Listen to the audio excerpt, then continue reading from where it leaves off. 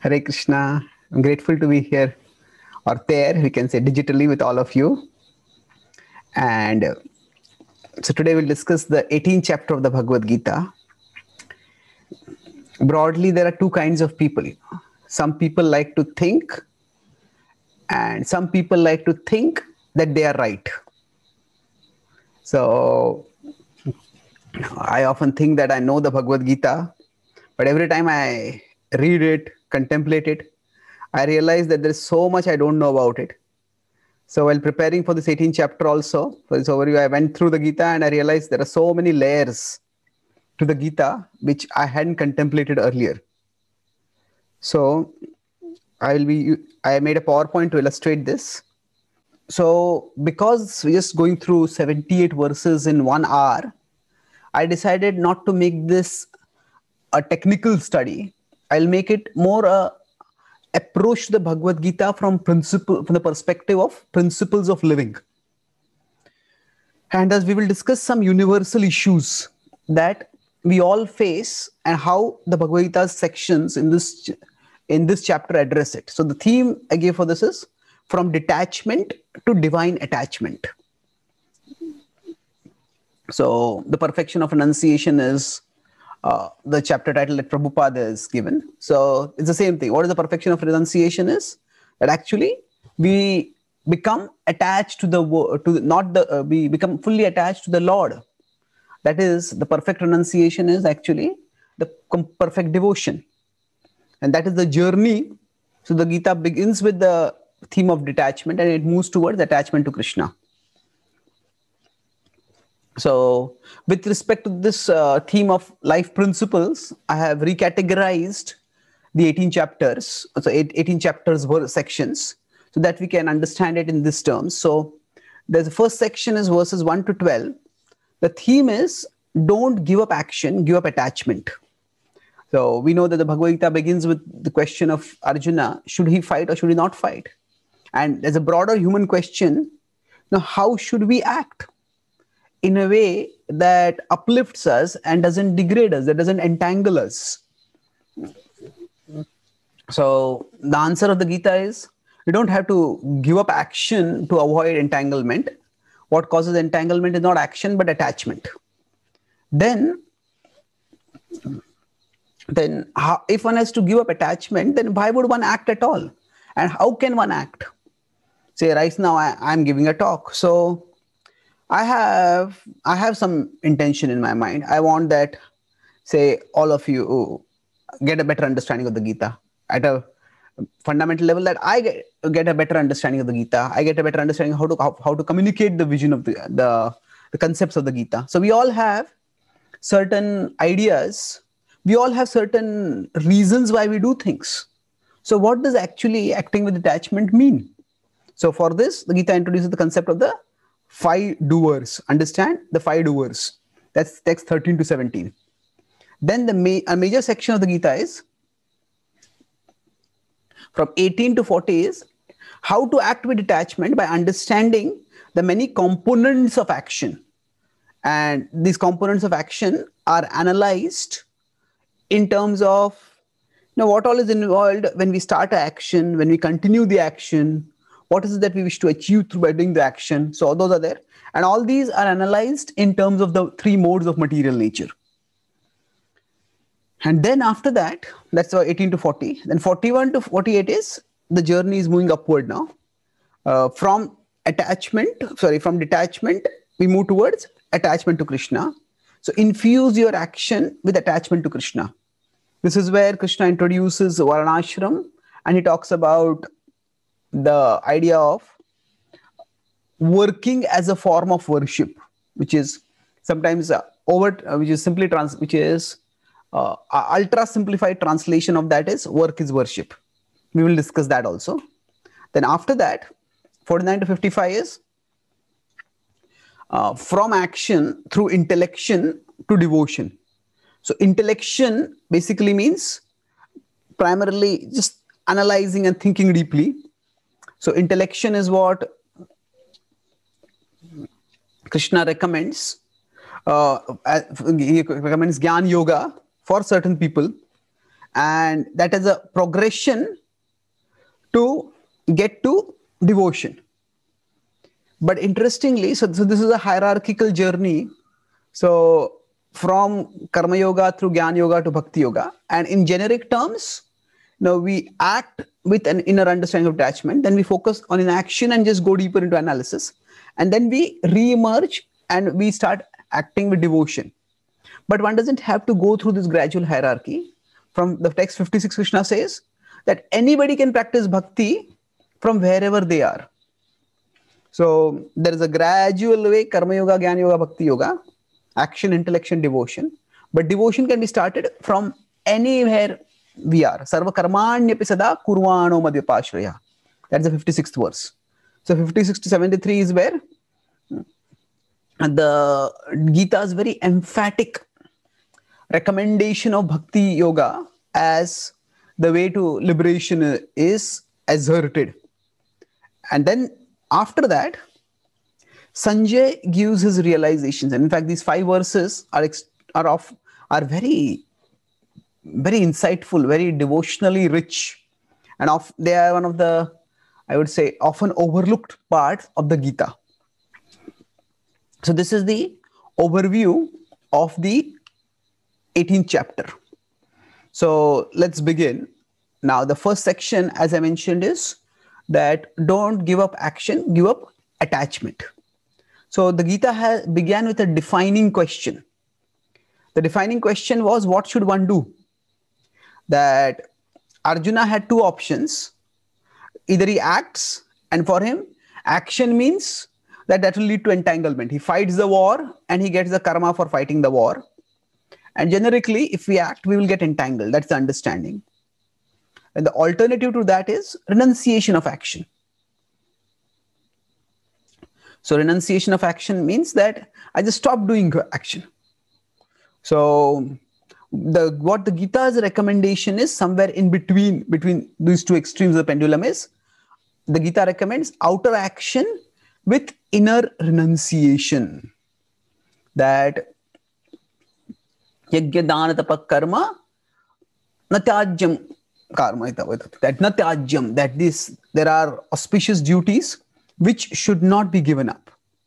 This is the broad balance which krishna has talked about consistently in the gita now there are some themes in the gita which may we may find repeated however the repetition often takes us to deeper levels of understanding of the same subject. See, just like um, now, all over the world, there's this pandemic. We have COVID. Now, what the word COVID is just one word, but what it means for different levels of people is different. Say, for most of us who are lay people, it means that we get a, we will get an infection and possibly it could become complicated but for us it's an infection for somebody who is in the medical profession for them it is a set of it is much more okay. Their understanding of that same subject is deeper. Okay these are, these are, these are the set of symptoms. And these symptoms indicate this possible complication and so many things. And then if we go to somebody who's a researcher that for them okay this is this this is this virus and this goes like this and this is how it grows this is how it can neutralize. Can we do these these these things? So basically the same thing it's like we can see it with with uh, with our uh, unaided experience like the word naked eye is used with with our unaided experience we, then there's the medically experienced eye and there is the microscope guided eye so the same concept can be seen at different levels similarly whether to act or not to act, this question has been discussed in the Gita right from the second chapter. But the discussion keeps going at a deeper and deeper level. And what is the deeper and deeper level? That, okay, Krishna talks about what is it that entangles us? And what is it that can disentangle us? That is, he says, our motivation. Our intention is more important than action. Then what determines our intention? Mm-hmm it's the level of purity or impurity in our heart what determines uh, the level of purity or impurity in our heart That is the modes and how they interact and function. What determines the kind of modes that are going to influence us? That is our circumstances, that is our past karma. So many factors keep coming up. So basically, although the question is repeated, it is not that the, uh, uh the, the point of discussion is repeated. At each time, it's being discussed at a deeper and deeper level. So here, as I said, this is the defining question which Krishna takes. But now here, although the same question was discussed in the second chapter, and it's going to be discussed in the 18th chapter. The first chapter that Krishna speaks and the last chapter that Krishna speaks. But here Krishna is going to take it at a much deeper level. And one of the frames he uses, one of the tools he uses for taking the discussion to a deeper level is the concept of the three modes. So he brings in renunciation in the three modes there is ignorance, passion, and goodness. So Krishna talks about this in 18.7, 8, and 9. Now we won't go into reciting all the verses because I would like to discuss the concepts here. But just briefly, we can discuss uh, what each verse refers to. So now it's interesting. Normally, we think of renunciation as a good thing. And if somebody is renounced, we might, you think that they are actually quite elevated. But again, even in sacred seeming acts like renunciation, intention is more important than action. In the 17th chapter, Krishna has talked about how austerity can also be in the three modes. Mudha graham. So he says, for example, people who do austerities, uh, subjecting their bodies to great pain, and so that they can get powers by which they can cause great pain to others. Such people are in the mode of ignorance. Their austerities are actually demoniac. So, and we have examples of, say, demons also performing austerities and becoming far more deadly, uh, far, uh, far deadlier demons so even the renunciation can be th- in three modes. So, for example, if somebody gives up because of illusion or irresponsibility, then that is that is not renunciation uh, per se, as it is generally used in the in a spiritual or philosophical sense.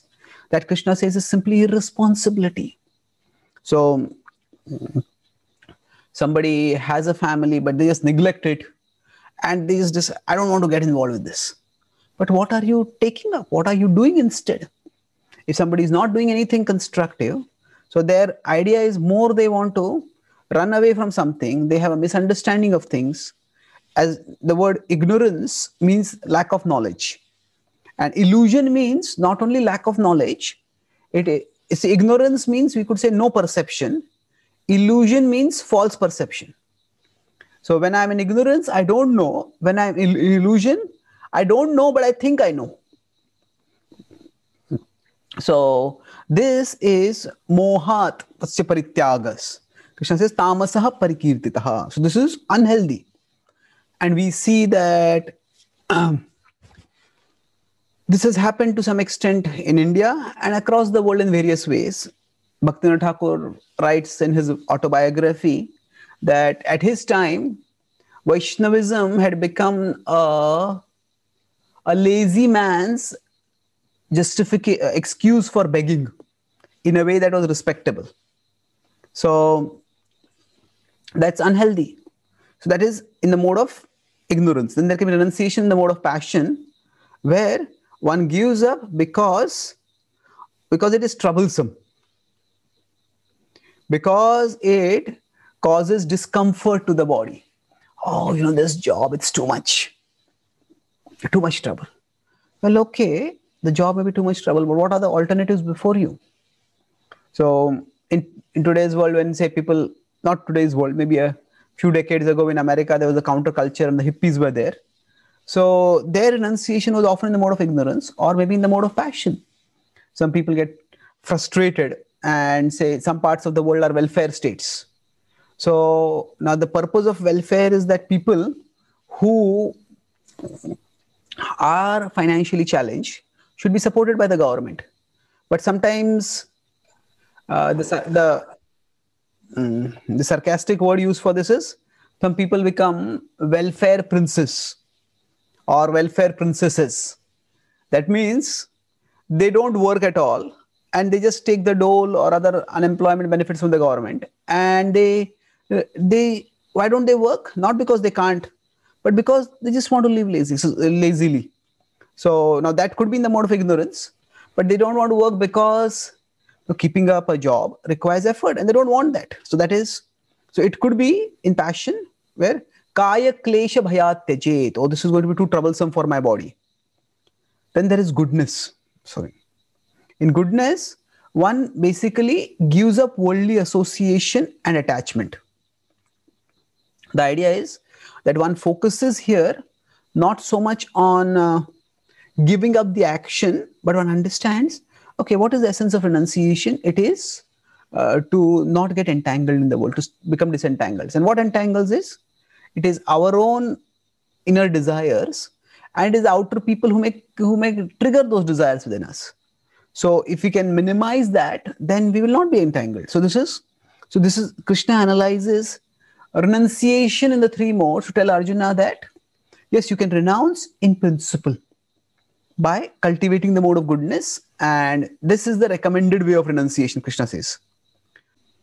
Then there are the five factors of action which krishna introduces. Adhishtanam tatha karta karanam cha prathak vida vividhasya prathak cheshta daivam chaivatra panchamam so adhishtanam so any action that is to be done. Now why is krishna again analyzing this?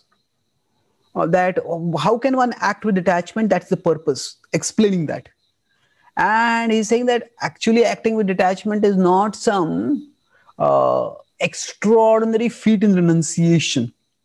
It is simply a proper understanding of reality what is that proper understanding of reality that actually our actions are not done by us alone and the results of our action are not produced by us alone. So, what does it mean? See, let's look at this from various examples perspectives. So, right now I'm speaking. So, we could say I am the performer of action. But is it I alone whom doing this? So, I refers to the conscious being, the Atma. But without the senses, say if I had some severe cough, then cough, then I wouldn't be able to speak so the senses of speaking have to be functional. Without that, I won't be able to act. So, and are they in my control? Well, I don't even know how the voice box functions, how the in the larynx the voice muscles move so that voice comes, sound comes out, and coherent sound comes out. So it's a I don't even know about it. So the senses are not so much in terms of their basic functioning, we are not they're not even in our comprehension leave alone our control. Now we could say okay i do my endeavor and that is good. So we, we need to endeavor. But apart from the endeavor the place of action. Now the place of action is an interesting concept. Place of action broadly refers to not just the physical location of action but the external situation that is required for the action to lead its leads to its fulfillment. So it could refer to the body it could refer to the immediate environment. Say for example if i'm giving a class right now and here the power goes off or the net goes off then because of that my action cannot cannot succeed. Say if a cricket match is supposed to happen and rains happen at that time then the place of action is such that the place of action is unsuitable and things cannot work at that time. So now do we control the place of action? Well, we can choose different place of action appropriately, but then we can't control everything that happens over there. And then ultimately there's a super soul. So without the super soul sanction, nothing will happen. Even if we take care of everything, uh, uh there can be factors that we don't even conceive of, which can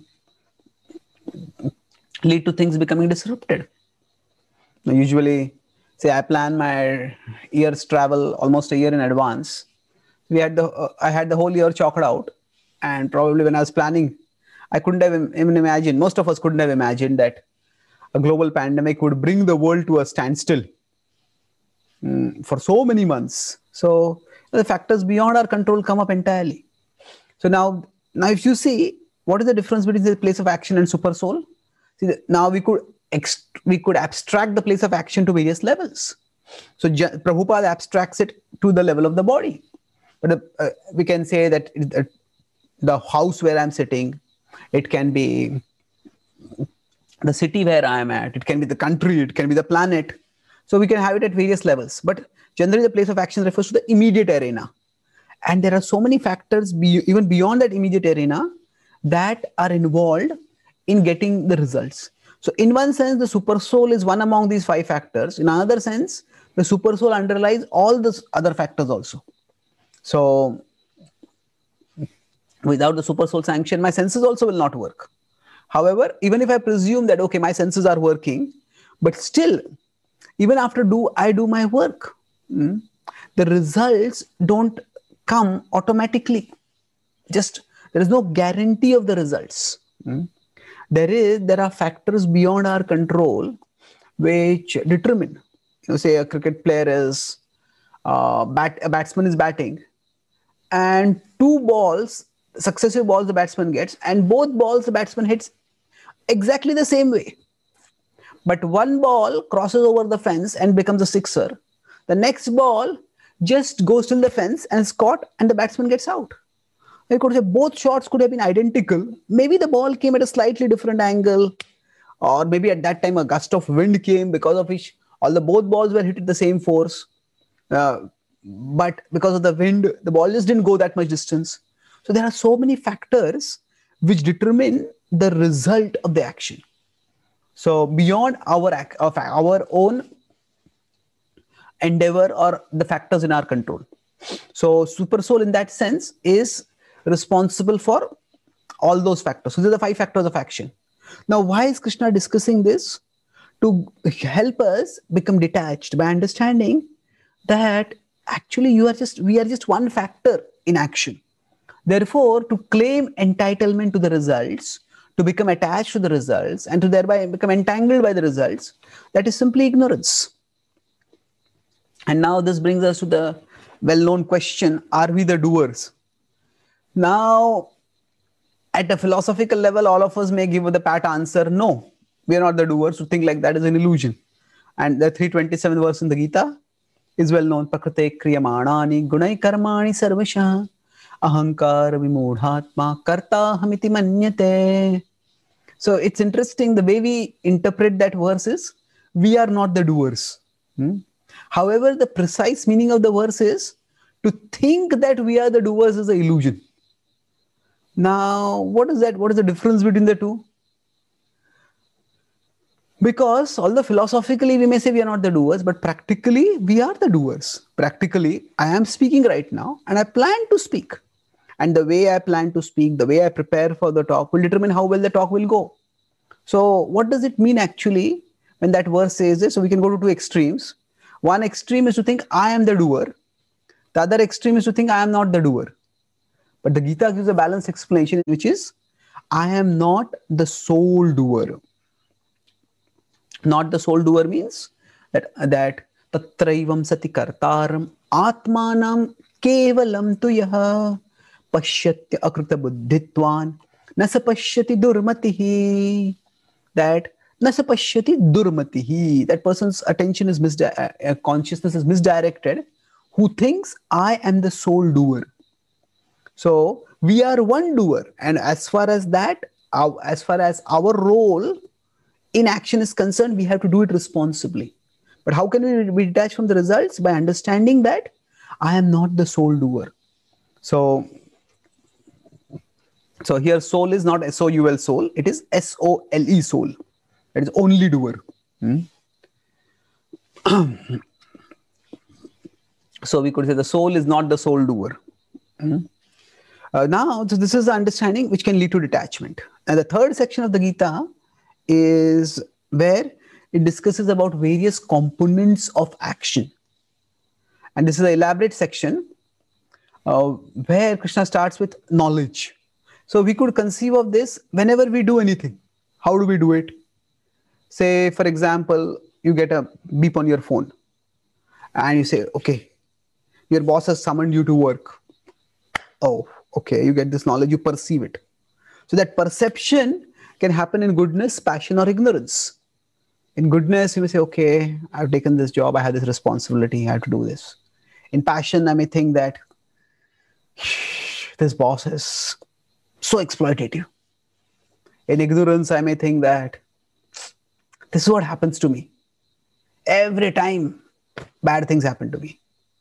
So the same event we could perceive in different ways. Now, I don't have time here to go into perception uh, in the three modes. So here knowledge is in more in terms of how we take in the relevant information from the world so that we can act properly. So we here knowledge refers to the perception or the inf- perception of the information that initiates action. Then after that, there is the actual action. Okay, then I have to drive to my office. So when I drive to my office, I might drive super fast and I might break the signals or I might just be skirting with danger or I might can, I can drive at a safe speed. So the action we can do, it's in the it can be in the mode of goodness, passion, or ignorance. Then after that, there is the actor itself. So it's not just that we are we are driving rashly, but uh, here when it talks about actor, it's not the soul; it's more the embodied soul. So the in the Sanskrit, the Atma, the word is used usually for the uh, soul, or sometimes Jiva is also used for the soul, and Bhuta, hmm? Bhutani is the plural. Bhuta is often used for the Jiva Bhuta Mahabaho. So Bhuta is referred to the embodied soul. So here we could say the actor refers to the overall way that particular person conducts themselves. So there could be a particular action in the mode of passion, and there could be person itself overall in the mode of passion. Then after that, so we envision how this is moving forward. So we perceived, then we acted, and while acted, our own mode is there. Then now, while acting, there is intelligence. Now, Prabhupada also uses the word in understanding over here, the English translation. The Sanskrit is buddhi. So here, jnana and buddhi are differentiated. Jnana is used more in terms of how we perceive, and intelligence is more seen in more in terms of how we act. So, how much are we able to manage our sensory functions in a regulated way?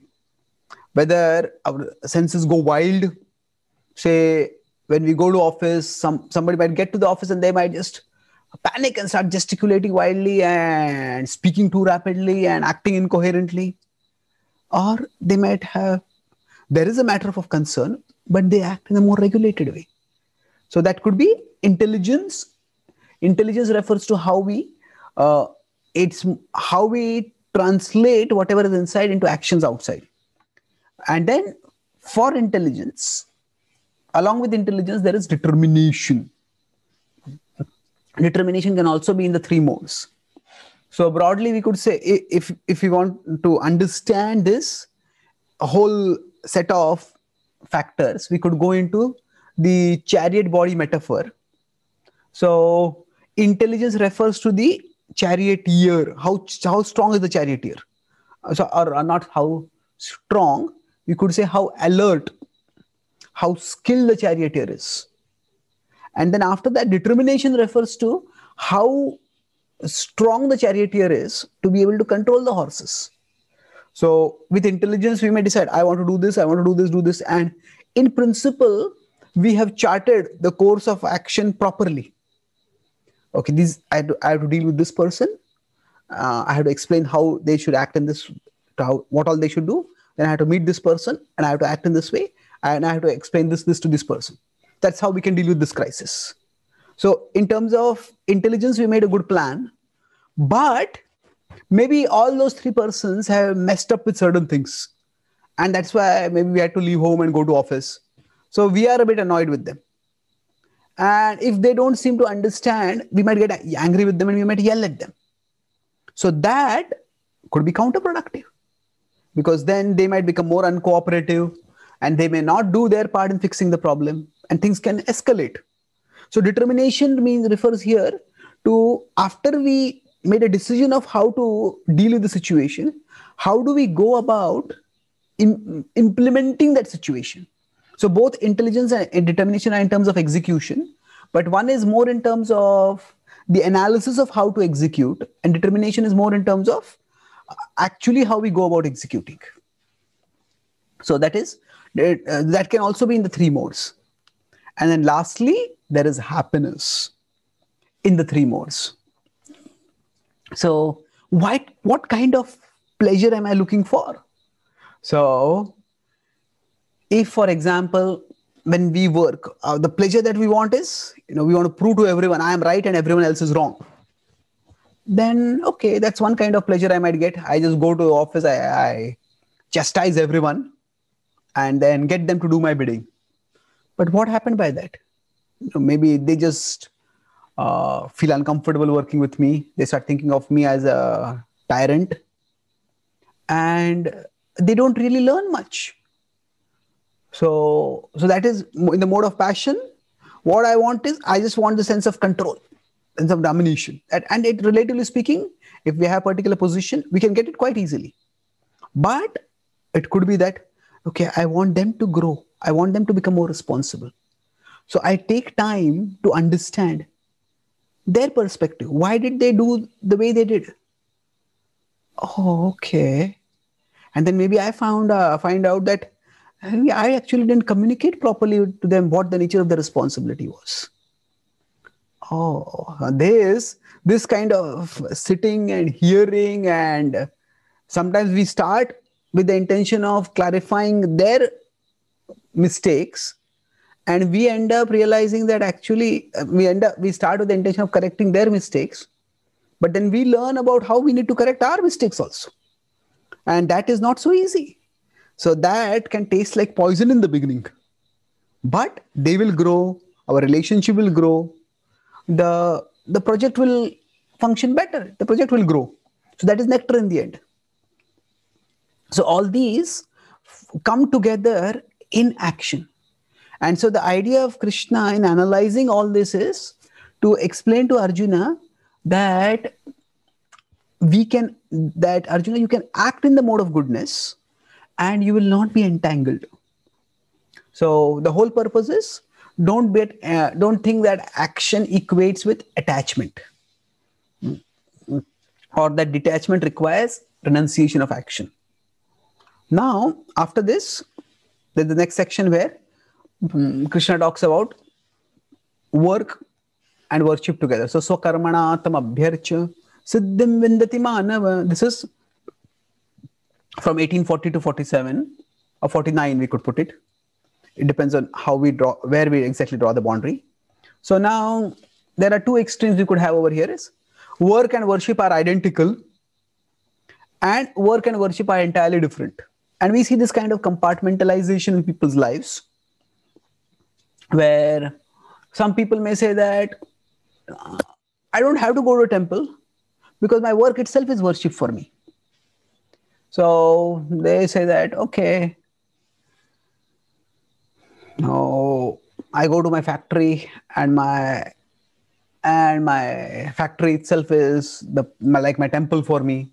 I go there. Nowadays, of course, many people not go to factories we may go to our software jobs or whatever so that's that's like my temple for me and uh,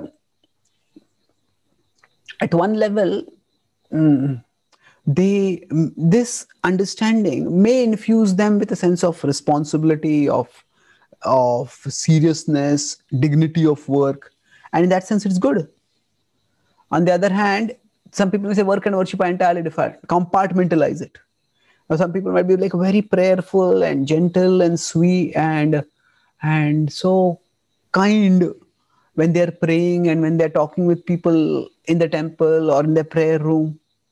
And when they come out, it's like they, they just uh, reincarnate practically as a different person. And then they're bossy, they're domineering, they use swear words. Hey, what happened to you? What kind of person are you? So they so there is complete compartmentalization so the, the what the gita says is something in between it is not so much work is worship but work as worship what that means is worship can be done in many ways work can also be one of the ways. So in this case uh, work does not replace worship but worship doesn't have to be given up for working. So we do our worship daily we may do our puja we may do our japa we may do our sadhana that's worship. But then after that when we go for our job that's also worship. Why? Because we are doing it in a mood of service to krishna so work as worship means that work is infused with a consciousness of service and worship. And that consciousness will not come automatically. For getting that consciousness we may have to consciously go and put in effort elsewhere. We may have to we may have to actually do worship associate with those who are devotionally minded and get that worshipful mood thereby so now what is krishna talking about in the broader context of this chapter that actually by work itself one can become liberated स्वे स्वे कर्मण्यभिरतः संसिद्धिं लभते नरः स्वकर्म निरतः सिद्धिं यथा विन्दति तच्छृणु So Krishna says, Sve Sve Karmanya Birata. By working according to your own profession, you can attain liberation. So that is the context. So not only can one avoid entanglement, but by working, one can even become disentangled. One can gain liberation. So then the question comes up. So this is work as worship. Then after that, the question comes uh, now: How does work as worship actually work? To understand this, let's look at the components of action in a slightly uh, in a similar way like we discussed earlier, but let's look at it in a uh, ordinary referential way. So actually, we understand that everything comes from Krishna. So we ourselves are parts of Krishna. Our abilities by which we are doing our work is part of Krishna. Our work is also impossible with Krishna, without Krishna. The result of the work will also come by Krishna's grace. And the world where we function is sustained by Krishna. So Sarva Krishnamaya Jagat. So we see the whole world is filled with krishna then we see okay whether i'm doing whether i'm doing some seva in the temple or i'm doing my job in my office it is uh, it is god's jurisdiction is not limited to the temple his jurisdiction extends everywhere and therefore he can be worshipped also everywhere and that's why this verse which talks about uh, uh, this work is worship idea Actually, it is, if you look at the Sanskrit itself, also it's not work is worship. It is swakarmana tam Through your work, worship him. So it's an oversimplified translation to say work is worship. But through your work, worship him. That same verse, the previous two lines of this are talking about God's immanence. How his presence pervades is, is everywhere.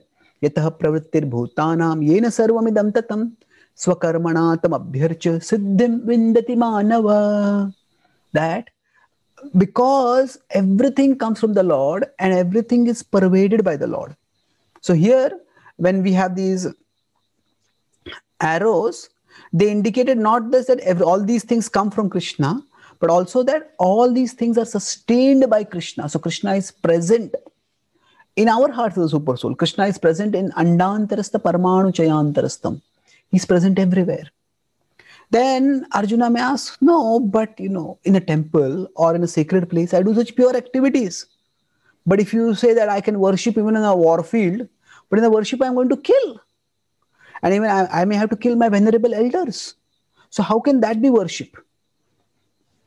So, there uh, Krishna says that actually every work is covered by fault. Sahajam karma kaunteya sadoshamapi natyajet that do not become uh, do not give up work just because it is filled with faults because every work is filled with faults and then he says sarvarambha hi doshena dhumena agnirivavritaha dhumen agnirivavrita just as fire is always accompanied by smoke and smoke is considered impure. But we go through that impurity and we reach the pure fire. So similarly krishna says don't give up your work just because it is you think it is impure. There is impurity everywhere in this world. And then after now from here onward what happens is we start re-envisioning the gita not so much as a hmm, hmm. Uh, so i'm skipping one section now. After that there's a section of 49 to 55 where krishna talks about renouncing world becoming inactive. And then after that yeah. Mm-hmm. so we're becoming inactive meditative. And then after that coming to the level of realizing krishna bhakti so the theme over there is there is there is action then there is renunciation of action and then there is devotion so from karma yoga through jnana yoga to bhakti yoga so in Jnana Yoga, Krishna talks about how one should sit in meditation, eat very less, not contemplate the sense objects, and increasingly realize one's own inner self. Uh, but the significant thing is, Krishna says, after one comes to that level, the perfection is to come to devotion. And so that's why Brahma Bhuta Prasannatma Nashochati Nakangshati Samah Sarveshu Bhuteshu this 1854 verse, for all practical purposes, if we consider for the Gyanis, it's they've already attained perfection. There is this not craving or lamenting worldly things, it's able to see all people equally, and then think that is perfection. And then there's a twist in the tail. Krishna says that this is where you will attain pure devotion. So, mad bhaktim param. That pure devotion is, we could say, the uh, postgraduate stage of perfection of that we get after graduating through jnana but then after that krishna says actually you can get to that postgraduate stage from wherever you are you don't have to go through this process of karma yoga jnana yoga wherever you are start practicing bhakti yoga from there सर्वकर्माण्यपि सदा कुर्वाणो मद्व्यपाश्रयः कुर्वाणो मद्व्यपाश्रयः that whatever work you are doing it do it with the intention of serving me with the intention of pleasing me and you will become elevated you will become liberated by that and then uh, he explains the process of bhakti yoga uh, from 1856 onward till 1873 but let's pause at 1863 so what does he do over here here now it's important that we re-envision the gita the Gita is not just a book of profound philosophy, it is a deep discussion between two caring people. It is, it is a it is Krishna in the Gita is the is not just a philosopher, he's a philosopher of love. So Krishna is giving is as we know he's Rasaraj. So rasa can be found in the reciprocation of love in various ways, but Krishna can find and sh- uh, share rasa even through philosophy. So, in this last section of the Gita, Krishna's heart comes out, and Krishna expresses his love for Arjuna. So, Krishna is the philosopher of love, and Arjuna is the con- connoisseur of love. So, the Gita is a discussion between the philosopher of love and Arjuna is being cho- asked to choose the highest love. Yes, Arjuna, you have love for Bhishma, he's your grandsire. And yes it's uh, that that kind of love is worthy at one level. It's laudable. But there are various levels of love. And sometimes we have to make choices. Okay which love is most important for me? So krishna is being asked to choose the lord as the foremost love so now here uh, in general love has two aspects to it Sometimes some people say love should be unconditional. Well, yes, yes, and no. Oh, if uh, if parents say, you know, I love my child as he is, I love my child unconditionally. Well, yes, but a part of parenting and a part of expressing a parent's love is also to help the child grow. So unconditional love means whatever my child does, however my child is, I love my child. But at the same time, a part of love is okay, don't do this, do this. You have so much potential. You need to grow and develop that potential. So, in a sense, when we love someone, are we loving the present person or are we loving the potential person? Actually, we are loving both. In fact, uh, there has to be like a healthy tension between that love. Now, the love who do I love who you are or do I love who you can be? So it is both. So in general, uh, that's why if uh, So pa- children flourish best when there is a combination of conditional and unconditional love. And that's why single parent families are, are difficult for children. Mm? Because for the same parent to perform both roles is quite difficult. So when there are two parents, they share the responsibility of parenting. So anyway, here Krishna exhibits that combination of conditional and unconditional love. So what does this mean? That first, uh, at, at one level, love means to give freedom. Not just like do whatever you want, but we explain, okay, this is how this is, this is how this is, this is how this is. Now what? Now you decide. So love means giving freedom. So Krishna provides guidance and then respects independence. So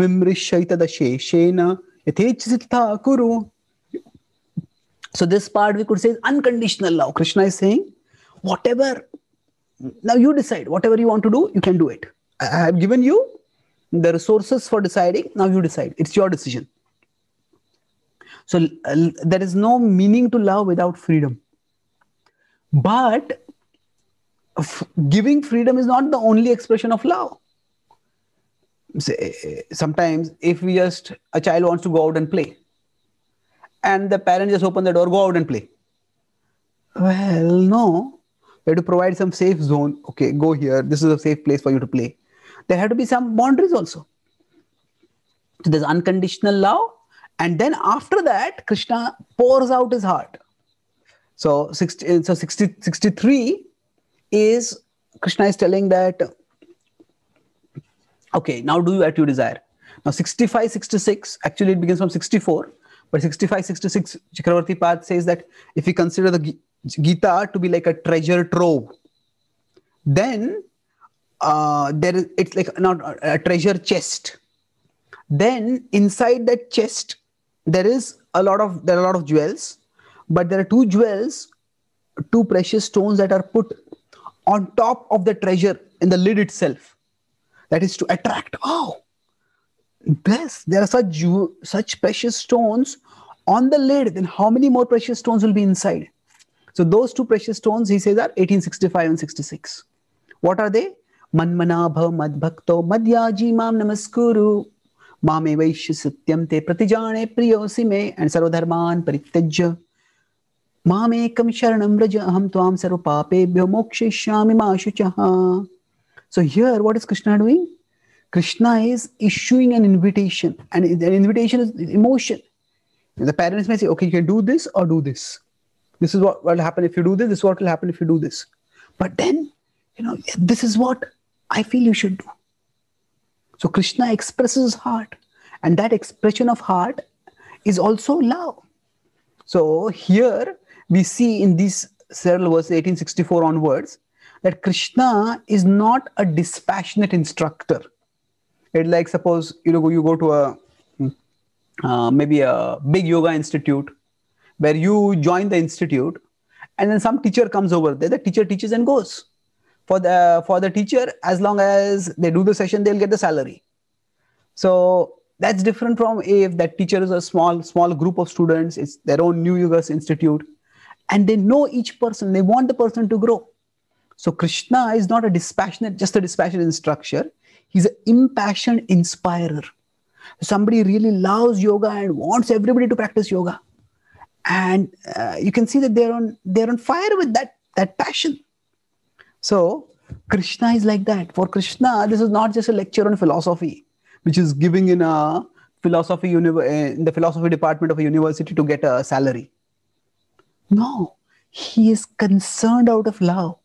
And thus he's speaking, pouring out his heart. It's an impassioned inspirer. And so Krishna, so to reconcile, does Krishna, is Krishna's love unconditional or conditional? It's both. Krishna loves us as we are, but he loves us too much to let us stay as we are. He loves us as we are, but he loves us too much to let us stay as we are. So 1863 demonstrates how he loves us as we are. And 1864, 65, 66, the, he loves us too much to let us stay as we are. So as a small change. You know, 80, eh, there is 1865 and uh, there are two verses 934 and 1865 both are similar but there is a difference and which brings out the heart of krishna. Uh, krishna has said in 934 is manmana bhav madhyaji mam namaskuru. And the last part is mam evaish satyam te patijan mam evaish atmanam matparayana if you do this this this you will come to me. Whereas 1865 is if you do this this this i guarantee that i will get you to me so it's Krishna's concern is more. It's like suppose we want to seal a deal with someone. We tell you know if you pay this much money by this time, if you get this documents cleared, and if you do this this, uh, this property will be yours. So at this point, we are placing the onus for the deal on them. You have to do this this this. But we might, if we are really anxious to seal the deal, then we may say, okay, if you do this this this, I guarantee that within 24 hours, this property will be yours. So what is happening? in the second part in 1865 that's krishna's heart is coming out. The, the change is small but the impact is huge between these two verses. And this is one way we could actually go much much deeper into this section and look at how krishna's heart comes out over here. Then another way krishna's heart comes out is in the falashruti it is uh, after krishna completes speaking the gita then he says preach this gita all over the world. Share my message worldwide. Uh, now that's glory. And he says, if you do this, you will get pure devotion and you will attain me. So we could consider this in terms of a well metaphor. It is that, say, somebody has fallen in a well and somebody else comes and rescues them. So they throw a rope down. Okay, you hold this rope and come out. You have to put in the effort to come out. Hmm? But suppose that person says that, hey, you know, I, it's too much effort. My shoulders are paining. I can't pull myself out then that person may say, okay, just hold on to the rope, I will pull you out. So that's the so Krishna says, if somebody says, I can't, I can't share your message worldwide, I can't I can't do like that. Then Krishna says, if you can't do that, just study my message. That's 1870. And by that also you'll be worshipping me and you will ultimately attain me. Uh, and then somebody says, you know, actually I can't even hold on to the rope. That also is causing my shoulder pain. Then if the person outside is very eager to rescue, they might send like tie a tub or a bag or something to the rope and fix it to the bottom of the rope and send the rope down. And all that you have to just sit over there and i will pull you out. So that is krishna's mood. Somebody says i can't even study. This is very difficult to understand. And krishna says just hear my message. And if you hear it you'll also become elevated and liberated by that so Krishna is offering his mercy at more and more compassionate levels. If somebody is saying, you just sit in the tub, I'll pull you out, that means they are really eager, even desperate to rescue you. So that is how Krishna is in the Gita. And that's what is the sweetness of Krishna, as is manifested here. Then, Krishna's last word that he speaks in the Gita is very significant. That is, Kachideta Shrutam Chetasa Kachidagyan Sammoha Pranashtaste Dhananjaya. Dhananjaya. Dhananjaya literally means winner of wealth. But here the meaning is that Arjuna, are you enriched with the wealth of wisdom to choose wisely?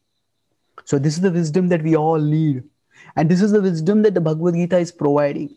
So the Bhagavad Gita itself is like a battle, battle between various conceptions in Arjuna's mind and heart, which Krishna has battled so that he gets the right understanding. And he, in this way, the Gita has enriched Arjuna. That's the significance of the word Dhananjaya. So the Arjuna is going to fight a war, and that war is to win the kingdom. But the purpose of the Bhagavad Gita is not to help Arjuna to win a kingdom. The per, that is not the external wealth that the Gita is primarily concerned about. It is more of the inner wealth. That is the wealth of wisdom. And thus, uh, we see the love of Krishna coming out in the Gita in the conclusion. And then we have the conclusion, concluding section of the Gita, last five verses, that is 74 to 78, which is Sanjay is thrilled. Sanjay expresses gratitude to his spiritual master for giving to Vyasa for giving him the mystic vision by which he could hear and see this conversation. He relishes the conversation. He appreciates how great these two illustrious personalities are who had this conversation. And then the fruit of the conversation is twofold. He is thrilled by Krishna's message and he's thrilled by Krishna's form. He's remembering these two and he becomes thrilled by that. Muhur. And then after that, so this is actually very significant that uh, sometimes uh, so at one level krishna's mission is the bhagavad gita is spoken by krishna to arjuna and that mission is successful arjuna's heart is transformed and arjuna becomes uh, devoted the same message is spoken by, we could say, Sanjay to Dhritarashtra, but Dhritarashtra's heart is not transformed. So when we also share Krishna's message, sometimes it has an impact on people, sometimes it doesn't have an impact. But even if it doesn't have an impact, just speaking the Gita will increase our attraction to Krishna, will increase our remembrance of Krishna. Krishna. And this is the internal success we all can have. So whenever we are trying to serve Krishna, the internal successes, our attraction to Krishna will increase. The external successes, that particular service goes very well, and the external results also come. The external results may or may not come, but the internal will also always come. So, in one sense, Sanjay is itself himself demonstrating the teaching of the Gita, phaleshu kadachana. He did his work of giving the message and he replicated it faithfully Okay, but it didn't transform the Dhritarashtra's heart. That's up to the Dhritarashtra. And lastly, uh, there are two more points, but I'll quickly complete this. That now we know the famous verse, the last verse is yeah, wherever there's Krishna and where there's Arjuna, there is victory, there is glory, there is power, there is prosperity. Now we could say, isn't it wherever there is Krishna, there is prosperity? Why is Arjuna needed over there? If Krishna is the Lord of the goddess of fortune, that wherever is the Krishna, there'll be prosperity, there'll be power, there'll be wealth, all, the things will be there. But actually, the purpose of the Gita is not to proclaim God's position. That yeah, wherever there's Narayan, there'll be Lakshmi. That is not the point of the Gita. That is true. But the point of the Gita is to transform man's disposition. That that Lakshmi is there with Narayan is the eternal truth. But what Krishna is telling is if we change our disposition, if we try to serve him, then auspiciousness will come to us also. And in the context of the Gita, this is a prophecy to Dhritarashtra that because Krishna and Arjuna are on the opposite side, victory will be theirs, not yours. And then the, the Gita concludes with Yatra Partho Dhanurdaraha. That indicates Arjuna has picked up his bow. At the start of the Gita, uh, at the start of the, or at the end of the second first chapter, Arjuna has put aside his bow. Visrujya sasharam chapam shoka samvigna manasaha. So Arjuna's bow, Arjuna's Gandiva represents our enthusiasm, our confidence, our determination, our clarity, basically our will to act. So what has happened is Arjuna had become demoralized at the start of the Gita. He had become confused. The Gita is Arjuna's journey from confusion to conviction. Confused. I can't fight. I don't know what to do. I will do your will, Krishna. Karishye vachanam tava. So the Gita is Arjuna's journey from confusion to conviction, and it can be our journey too. So the Gita is not just a historical book or a philosophical book, it's a personal book that Krishna is speaking to each one of us.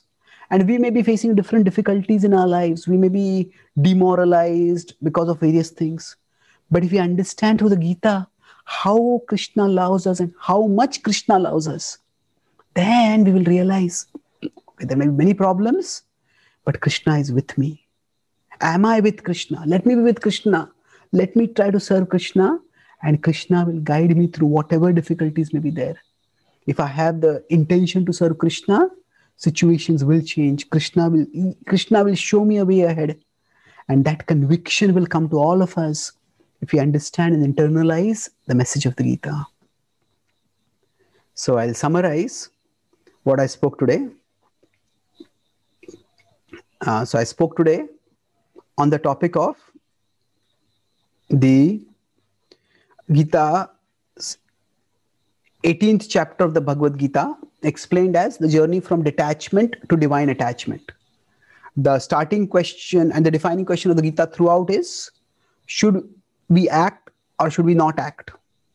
And that question is discussed at various levels, and it, at a deep level, it is discussed in the 18th chapter. So Krishna says, act with detachment. and he analyzes most of the analysis in the first half of the Gita is done with the three modes, and that's where we spend a good amount of time. So acting with detachment means acting in goodness, and then how can one act with detachment? It is simple. It is not some phenomenal feat in in abstraction, but it is simply understanding of reality that actually I am just one factor in action, and I don't determine the results. So we are we are the doers but to, it, it is said it's illusion to think we are the doers because we are not the sole doers. We are just one factor among five factors in action. That was uh, 12 to 17 and then from 18 to 40 is the components of action. And i took the example of say getting a message from the boss and then then what do we do? Okay we t- get the message that's we take in per, that's perception. There is no, there is knowledge then there is action then there is actor. Action is how do i drive the car? Do i go passionately? Then am i myself disturbed then there is intelligence then there is determination. Okay intelligence how clearly do i make a plan of how to deal with the problem? And the determination is do i keep my temper under control when i'm dealing with the people because of whom the problem has happened? And then there is happiness. What kind what is my goal in doing this? Do i just want to control or do i want to educate? So our actions can be in various modes. And uh, accordingly how much we get entangled will be determined. Then after krishna talks about how to work as worship. So it's not that work is equal to worship and it's not that work is completely non not equal to worship. Rather work is one form of worship along with other forms other more direct forms of worship also. Then krishna talks about how to rise from karma yoga through jnana yoga to bhakti yoga. And in Bhakti Yoga, we discussed how the Gita is actually a conversation between of it's of love between we could say the professor of love or the philosopher of love and the connoisseur of love. And therein, so love is both conditional and unconditional. So Krishna respects Arjuna's free will, but also expresses his heart. Uh, Krishna loves us as we are. At the same time, he loves us too much to let us stay as we are. And then we see his compassion overflowing in the sense uh, in that, okay, is three levels he offers share my message worldwide or study my message or at least hear my message. Some way or the other i will elevate you from the well that well metaphor.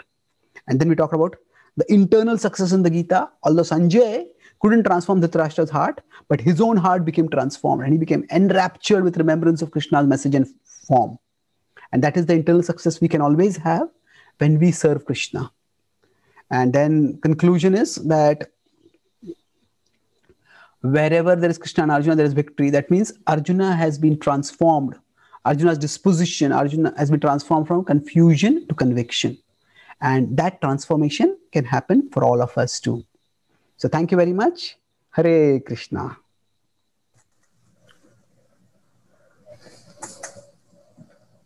Hare Krishna. Thank you so much, Chaitanya Charan Prabhu, for taking us uh, on a journey to chapter 18 of Bhagavad Gita. summary of Bhagavad Gita is more or less made it easier for us to understand Bhagavad Gita in totality. Uh, we have a few questions. Prabhuji, you have time to answer? Yes, Prabhu. Maybe about 10, okay. 10 15 minutes can take. I, it also okay. depends on how much time you have. We'll plan it accordingly. Yeah, we, we have 15, 20 minutes also. Okay.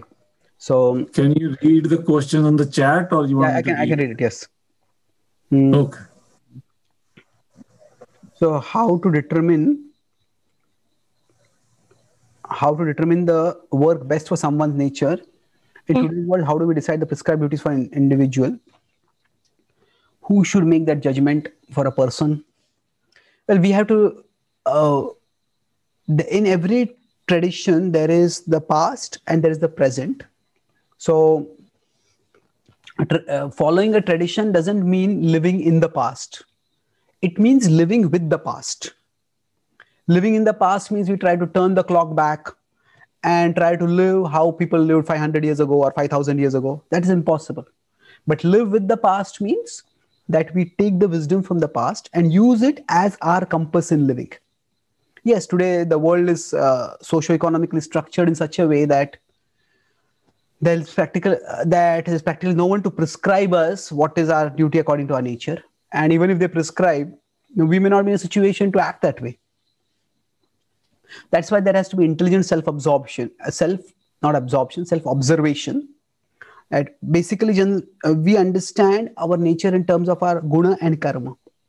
So guna and karma we could translate in many different ways but one simple way is as as uh, comfort and competence.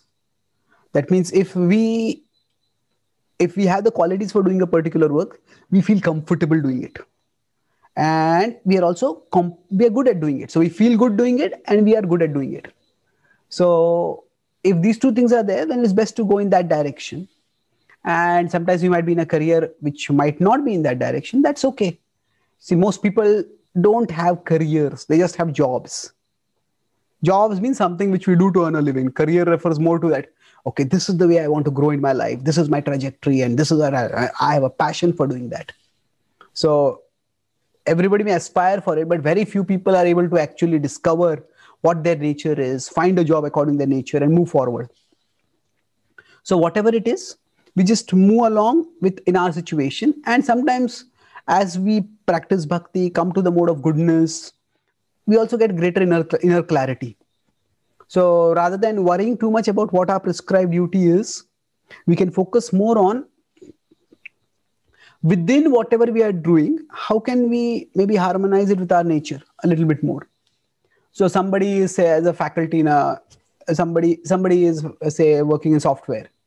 And some people might like might be more comfortable with technical work. Some people might uh, be more comfortable with say meeting people and sealing deals. Some people might be introvert some people might be extrovert. So we just observe our nature and try to gravitate towards some role according to that nature.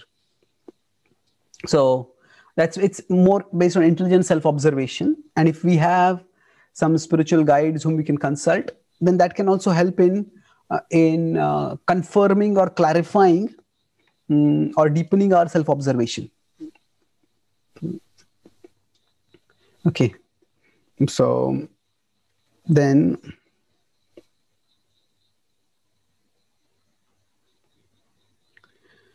so can can work as worship lead to devotion to the lord? Well it is. Uh, it is a part of devotion. Can it lead to devotion? Yes. It depends on what how our rest of life is if we are taking time out during the rest of our life to actually do directly devotional activities then that then our consciousness is connected with krishna. And if our consciousness is connected with krishna then that consciousness will be uh, be krishnaized be spiritualized even while we are working. And with that consciousness we will further develop the connection with krishna. So it's like we have to have some connection with krishna uh, through direct worship. And then through our work also our uh, our connection will deepen. Now how will it deepen? Now when we are working we may be able to see the truths that krishna has taught in action.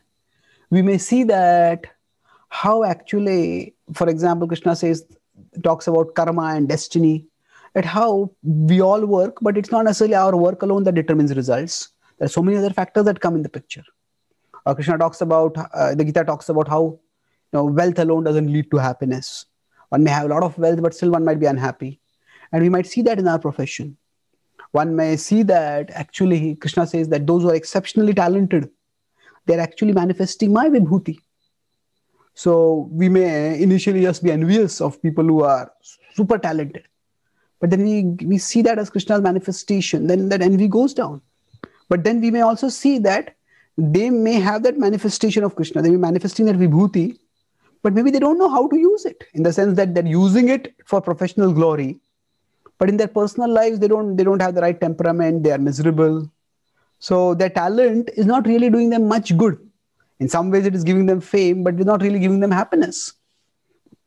So basically, we will see the truths that Krishna has taught in action in our workplace also. That's way our connect. That way our connection with Krishna will increase. Another way is that just by uh, having that intention to serve Krishna, and of course acting on that intention, Krishna says, "Be detached from the fruits of the work."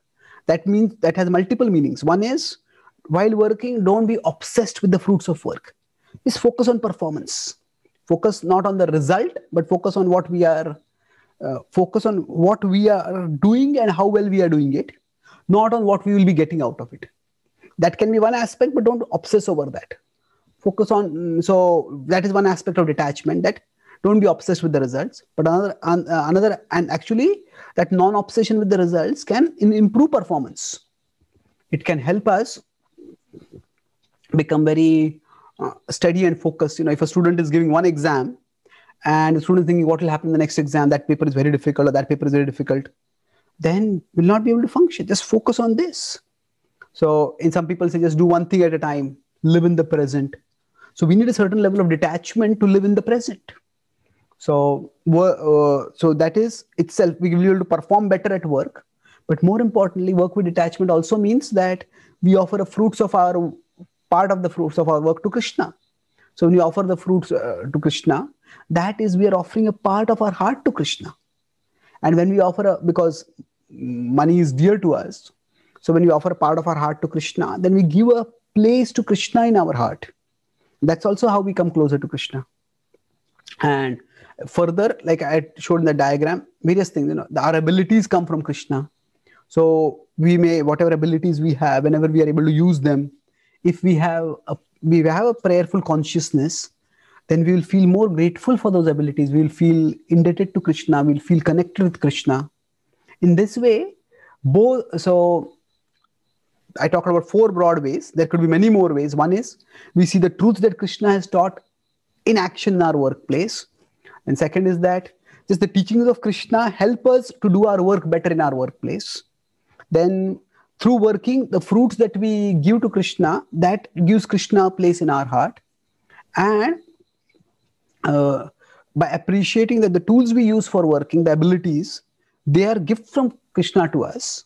We also you know most of us when we work we need a certain level of iq and we are born with that. We may improve our iq by certain practices. But but that iq we just got it. Where did we get it? It's ultimately Krishna who gave it to us. So that appreciation for the gifts that we have also increases. So there are various ways in which work can increase our devotion. And simultaneously, we also need to do devotional activity directly. Then that work leading to devotion, in, devo, increase in devotion is more probable. Okay. Thank you. So there is one unrelated question if there are any um, okay happy to be of service. Hmm. so if there are any direct questions uh, i would prefer to take that. Um, okay shad bihari prabhu. Um, is bhakti to krishna and surrendering to krishna are the same? Or are they different based on Srila Prabhupada? Mm-hmm because in Sri Sampradaya they hear that surrendering to Krishna is different and better. Okay, so see there are terms and there are concepts, and it's important to not get hung up in that difference. That means that generally speaking, whatever we do in life say for example uh, see a term is like a handle to a suitcase. So if i have a handle then i can carry the suitcase quickly easily. But what is important is not the handle. If one handle breaks i can always get another handle So it's important for each one of us to actually understand what is what. Let me see. okay uh, i was thinking i had a picture of this somewhere but i'm not able to locate it mm, so there is a so there is a suitcase which is carried by a particular handle so the suitcase is like the concept and the handle is like the term.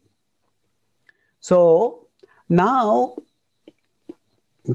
we could have exactly similar suitcase with two people but both of them might have different handles.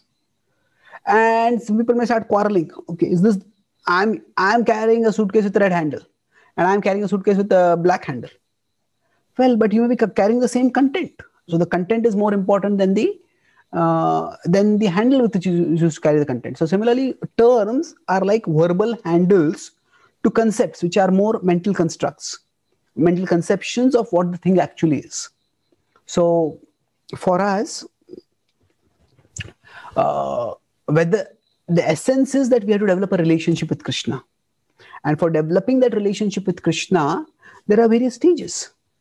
So, in some ways, we could say bhakti is uh, the process.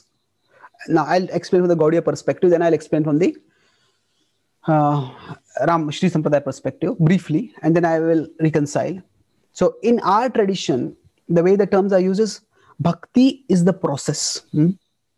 And the fruit of bhakti is prema. Prema is love for Krishna. There are nine stages of bhakti, and then Adau Shraddha Sadhu Sangha. By that, we ultimately come to prema. And now within within bhakti, now bhakti itself has been analyzed in different ways. So, for example, there are nine limbs of bhakti, and one of them is Atma Nivedanam. So, Atma Nivedanam can be surrender of one's own self, offering one's own self. So, if we take that as surrender, then that's like one limb of bhakti, which will ultimately lead to prema. But then surrender has also been analyzed in different ways as having six components. That that is anukulyasa sankalpa pratikulyasa varjanam rakshishiti vishwaso goktutve varnandata atmanikshep karpanya sharvidha saranagati.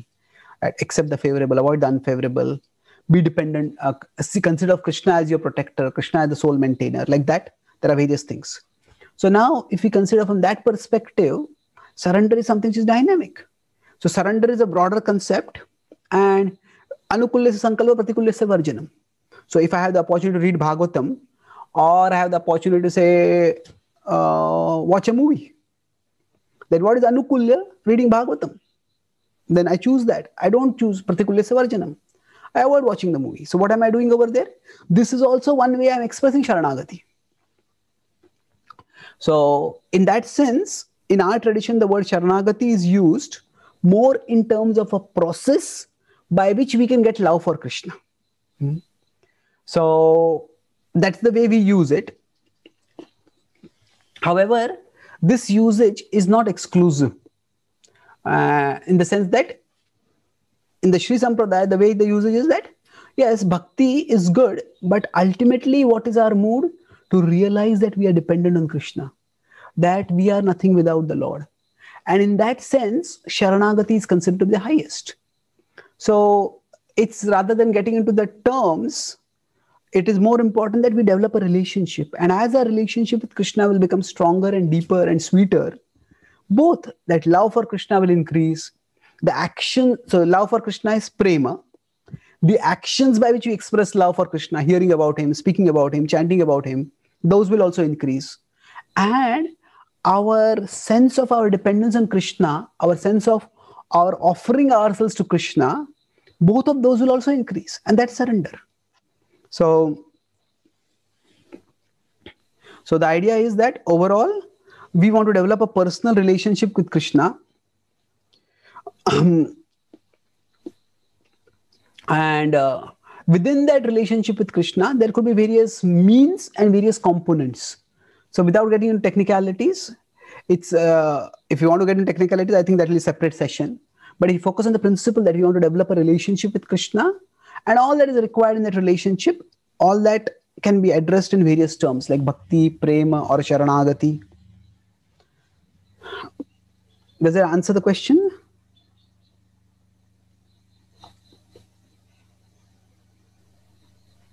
yes Prabhu. thank you Prabhu. thank you so one last question, and we'll have to end after that. So now,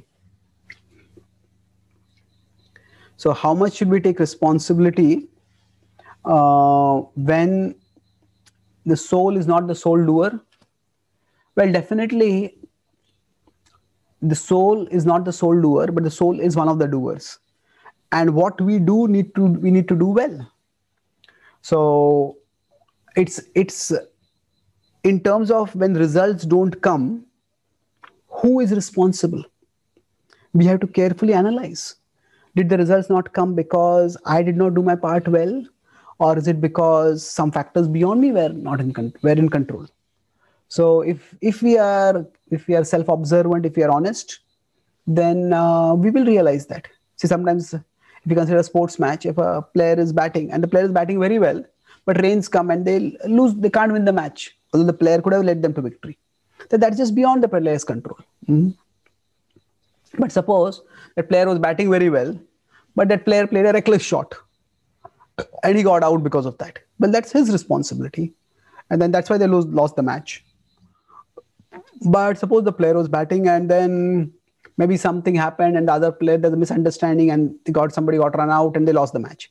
So now who is responsible? Sometimes it's we, sometimes it's the other things beyond our control, sometimes things in our control. Sometimes it's a complex combination of both.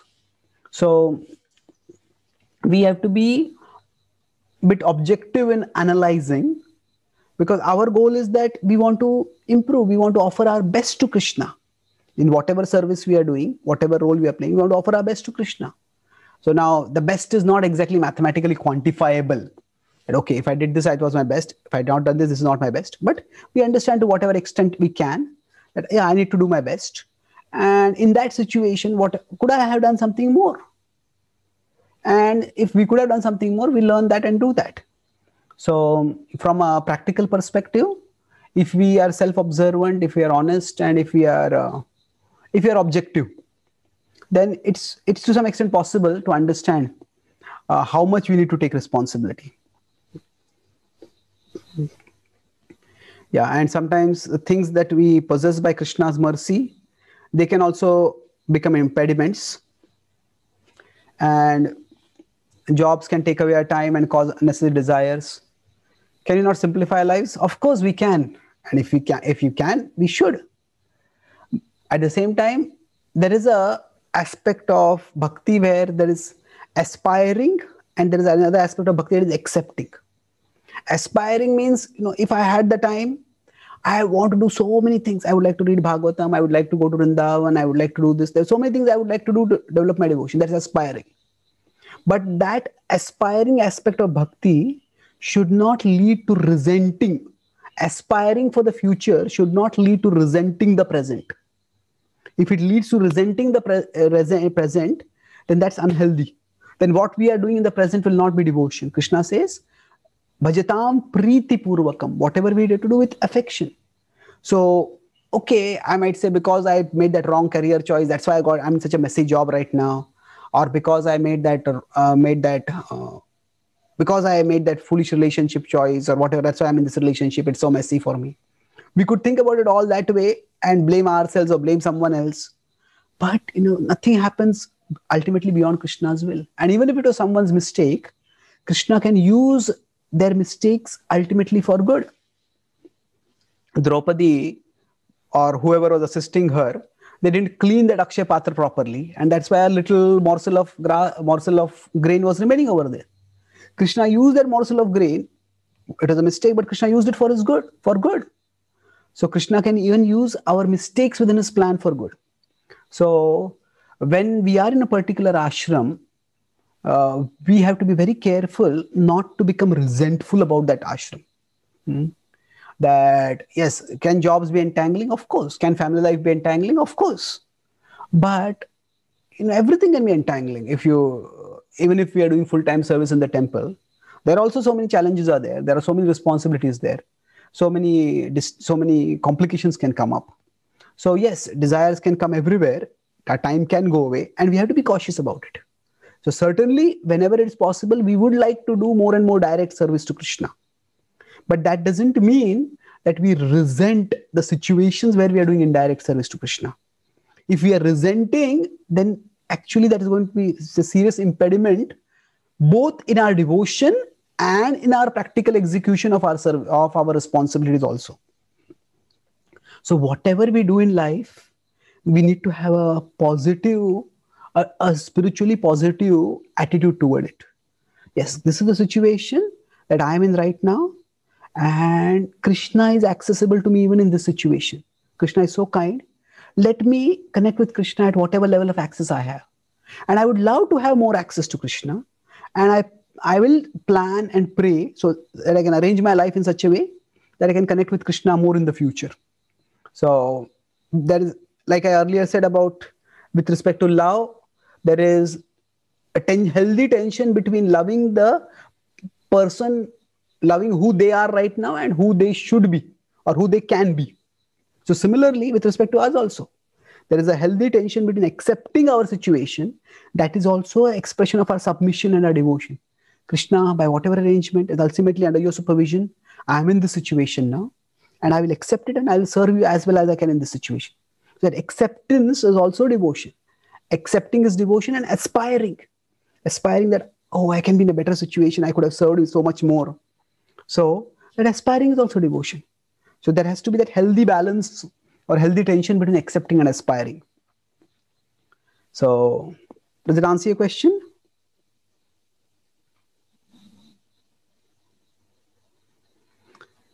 So, thank you very much for your participation. And thank you, Devkinandan Prabhu, for this opportunity to serve. Hare Krishna.